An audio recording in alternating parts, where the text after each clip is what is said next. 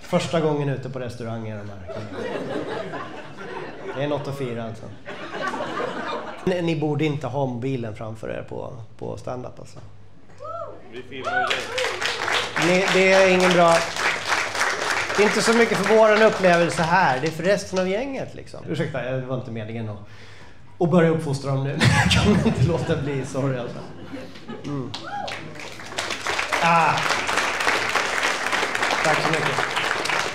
Ni, eh, vad tycker ni om den nya könslagen som de håller på att ska få igenom där?